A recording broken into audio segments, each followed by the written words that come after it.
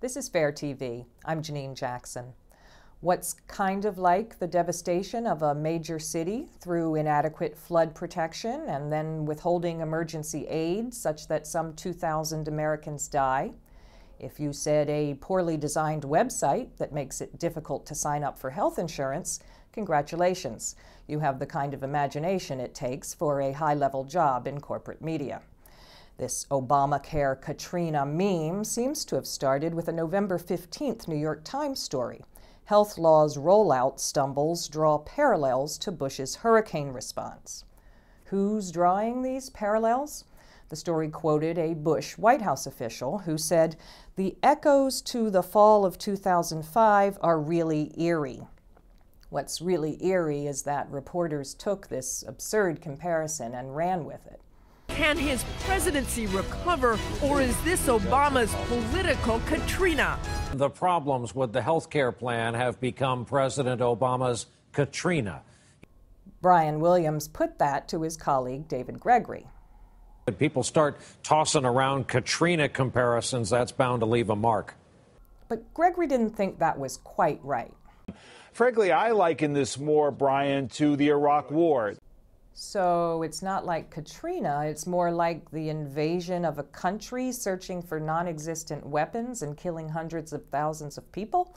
Like that, but without the war part or something. Another highlight came from Fox News' Chris Wallace. Katrina was a was a terrible event. Lord knows you were there. You saw how badly our government responded, but it, it began and it ended within a week. This could affect people's lives for years to come. Wallace should try saying that in New Orleans. Let's say you're a Republican politician, best known for a budget plan that would slash spending on the poor in order to give more tax cuts to the rich. But you really want to be known as a guy with a passion for fighting poverty. Good luck with that image makeover, right? Well, the Washington Post made the job a lot easier for Wisconsin Congressman and one time Mitt Romney running mate Paul Ryan.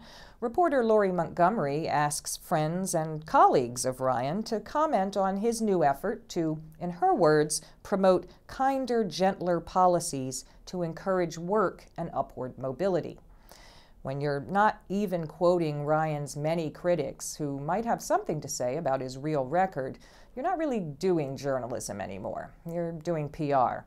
Montgomery notes that Ryan's interest in poverty dovetails with a larger effort to revamp the GOP. What would help with that larger effort? Well, a story like this one. And finally, earlier this month, CNN aired a documentary called Pandora's Promise, an unabashedly pro nuclear power film that makes no attempt to balance the perspectives of the industry proponents that they profile. That's fine, of course, but a curious choice for a news outlet like CNN. FAIR and the activist group Roots Action sent a message, along with some 30,000 other people, encouraging CNN to offer some balance in the discussions they were planning around the film. And they did, just barely. The program that followed Pandora's Promise was titled Nuclear Power The Fallout from Fear, not exactly hiding their point of view. The segment was Pandora director Robert Stone, climate scientist and nuclear advocate James Hansen, and a former plant operator, squaring off against a single nuclear critic, Dale Bryk of the NRDC. Sometimes host Anderson Cooper joined in, at one point rebutting the criticism that the film's one sidedness meant it shortchanged renewable energies. The film clearly says that alternative solutions like uh, solar, mm -hmm. wind, Uh, is not a real energy solution. It's never going to be an, enough. So he's countering the idea that the film didn't properly discuss how renewables could be the solution by saying, hey, that's what the film said.